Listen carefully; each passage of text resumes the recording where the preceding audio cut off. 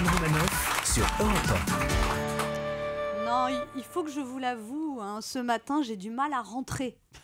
Non, ce n'est pas le titre d'un film de Rocco Siffredi. Non, non c'est le problème quand on part trop. On s'aperçoit que moins on travaille, plus on apprécie de glander. Et là, on n'a plus le choix. C'est la rentrée. Il faut reprendre le rythme.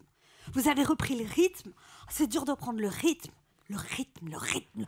En vacances, le rythme, c'est ça. Oh. Ou encore ça. Oh, nostalgie. Tu Mais aussi ça. Et depuis qu'on est rentré, le rythme, c'est ça. Ou encore ça. En tout cas, ça y est, on connaît enfin le contenu de la loi travail. Ah, je suis soulagé, Première moi. grande réforme du quinquennat Macron. C'est bien, on a une loi, maintenant il manque plus que le travail. C'est comme si on avait écrit le code de la route avant d'inventer la voiture. Non, mais est-ce que vous avez vu Muriel Pénicaud et Édouard Philippe expliquer leur loi? On aurait dit un proviseur et une prof d'histoire géo. J'avais envie de battre du pire en même Ouais. temps, c'était génial. Mumu et Édouard, mais quel charisme Quelle joie de vivre C'est un duo étincelant, c'est les Stone et Chardin de Matignon ah, le président, c'est son tour et ils feront pas d'ombre au roi soleil. D'un côté Jupiter, de l'autre désastre. En deux mots. Muriel Pénicaud bégaye plus que François Bayrou et Édouard Philippe met des costumes trop grands ou alors il est écrasé par le poids de la tâche. Alors on contenait le contenu des ordonnances sur la loi travail et comme toutes les ordonnances, elles sont illisibles, la pilule risque d'être difficile à avaler. Moi, pendant toute la conférence de presse, la seule ordonnance que j'avais envie de leur prescrire, c'était du guronzan pour Pénicaud et du Prozac pour Édouard Philippe. non mais sérieusement, je suis inquiète pour Édouard Philippe. Vraiment, on est le 2 septembre, il a déjà l'air épuisé. Je crois que c'est la faute d'Emmanuel Macron. Édouard Philippe passe son temps à expliquer des décisions qu'il n'a pas prises et dont il n'est pas toujours au courant. Il comprend pas surtout.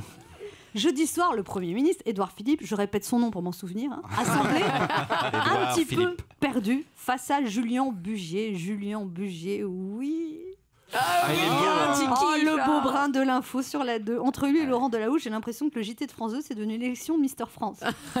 Il nous a tout bien expliqué, le Premier ministre. Non, ce code du travail n'est pas en faveur des patrons. Non, non, non, Non, non, non, pas non. du tout, du tout. Ça, c'est ce que disent les méchants syndicalistes qu'il respecte par ailleurs.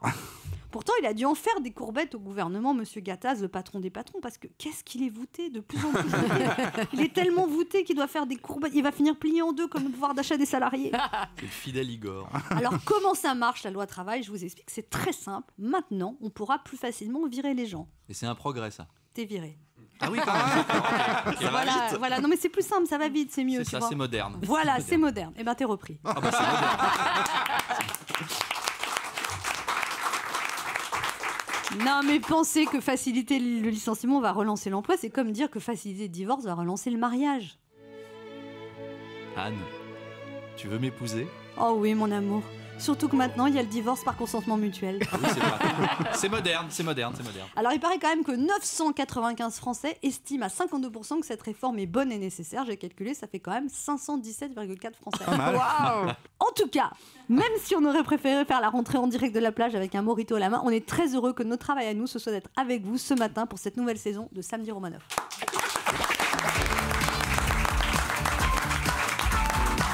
Samedi Romanov sur Europe